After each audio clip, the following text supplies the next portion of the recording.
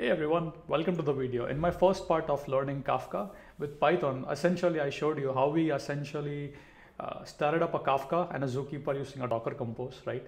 We wrote a very simple producer and a consumer. Now here is, uh, as I said, right, as we move slowly in the course, we'll learn more and more and more about Kafka, Python, and you know, all the syntax and other stuff. This video, I specifically want to talk about one thing. So say you have a producer, right? And this is your queue, right? And your consumers are here listening here right? Producer produces a number one. Consumer consumed it okay? Producer produces number two. Consumer consumed it. Say something went wrong okay? Consumer went down. So now the producer is again producing message three four. Now the consumer started at this point. So now the consumer are gonna consume message from the from this point onward right? Four five.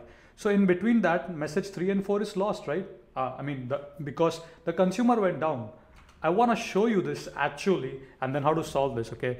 So in order to show you the concept, I have a producer that is gonna produce the messages. And uh, in my lab number two, that is gonna be consumer V1.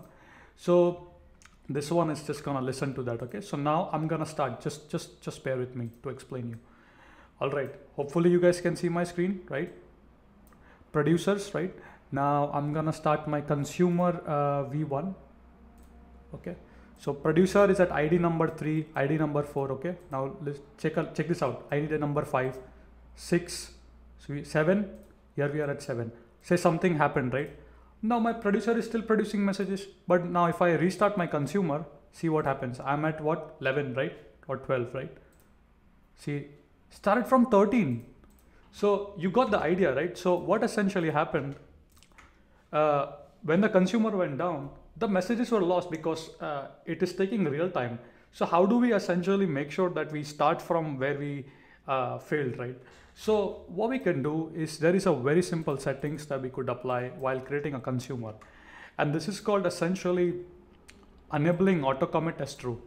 Uh, essentially, I found this out uh, through, oh, I don't have that article handy, but I'll leave, leave it in the description.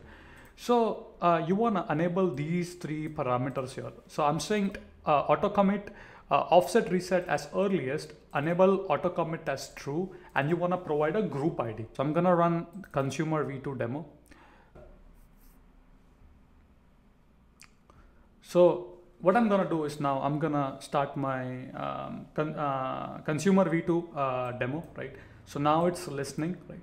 Now check this out. So producer are going to produce messages, right?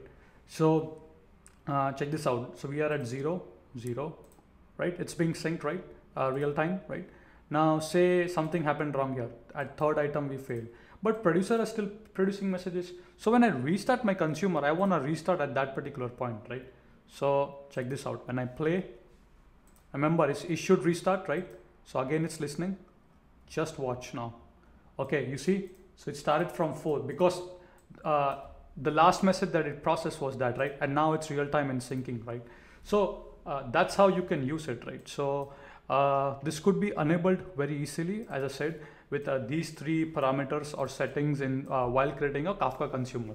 If you need the source code, this would be there in the lab number two. And I hope you have enjoyed this small tutorial on Kafka. And as we keep progressing, we'll learn more and more about settings. Now, we'll dive further more about, for, for example, when you have multiple consumer and one producer, we'll try to listen from multiple uh, topics as well. But all that is gonna come upcoming in the later videos. Hope you have enjoyed it. Please find the labs in the description. And if you have questions, put, put your question in the comments and I'll get back to you as soon as possible.